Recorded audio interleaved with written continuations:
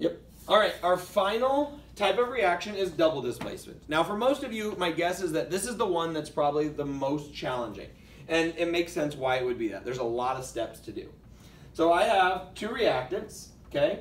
Um, I have potassium carbonate, and I have zinc 2 nitrate.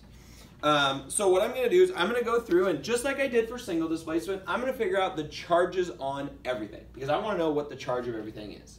And three of these things I know, okay? I know that um, potassium always has a plus one charge. I also know that if I look at my red sheet, carbonate, CO3, always has a two minus, whoops, which is proof that I just messed up that formula. There we go, that's better. Okay, carbonate always has a two minus charge. Okay, zinc, I don't know, it's a transition metal, it can change. Okay, um, but nitrate always has a one minus.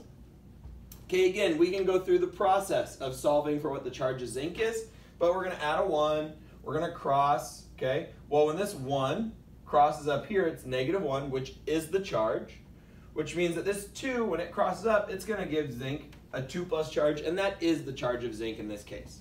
And that makes a whole lot of sense, because if zinc has a charge of 2 plus, and each nitrate has a charge of 1 minus, and there's two of them, that would balance out and add up to 0. Okay? So, we have our charges, we can go ahead and get started. Now remember, when it comes to doing this process, we're going to do it exactly the same.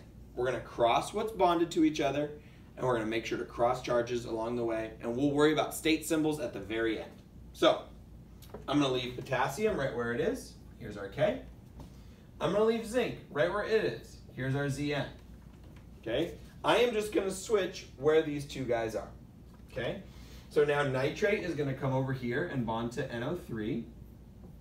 Okay, and now carbonate is going to come over here and bond to zinc. Okay, again, let's cross charges. We know that uh, potassium has a 1 plus, nitrate has a 1 minus. That's really nice because positive 1 and negative 1 will cross to make 1 and 1, so we don't need to do anything. Okay, zinc was a 2 plus, carbonate was a 2 minus. Okay, well that's also really nice because we know that 2 and 2 will cross and reduce to form 1 and 1 again. So both of our formulas on that side are actually in really good shape. So I'm going to go ahead and erase those just so they don't confuse us when we go to balance. Okay? Next, we're going to go ahead and balance. And I'm going to get rid of all these charges just so that way we're not getting confused at all. Okay, so let's go ahead and balance. Um, I have two potassiums here. So I'm going to come over here and I'm going to make two potassiums here. Okay? Um, if I look at carbonates, just to go in order, if I look at the carbonates, I have one group of carbonates right here. And I also have one group of carbonate ions right here. So those are balanced. My zinc, I have one here, and I have one there. And then finally, my nitrates, I have two here. I only had one, but this two distributes to both. So I'm 100% good to go. I'm going to go ahead and balance.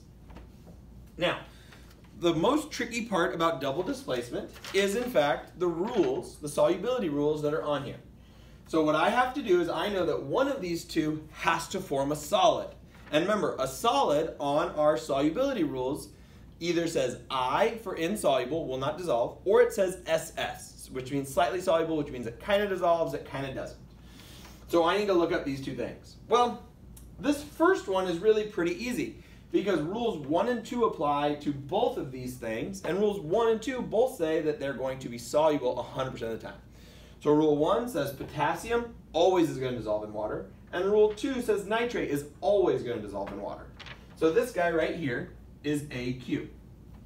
Okay? If at any point you're like, I don't get it, okay, remember, AQ is the same as S in your table. Okay, if it says S in the table, which stands for soluble, that means it will dissolve. We write AQ in the formula. Okay, and then finally is this guy. We need this to form a solid. If it doesn't form a solid, we literally did everything for nothing, and now we can write no reaction. Okay, so we're gonna look this up. Okay, there are no rules about zinc. Um, there is a rule about carbonate though. Okay, rule number five says that carbonates are insoluble. And if you're like, I don't know if I buy that, well, then we can look at the table too and, and use the table.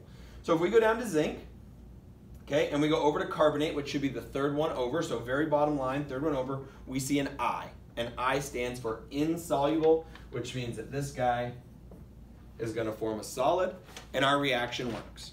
Had this thing formed uh, something that said S next to it on our sheet, we would write AQ, and then we would write a big no reaction because it wouldn't happen. But because we're lucky enough to have that S right there, this reaction is good to go. Good luck.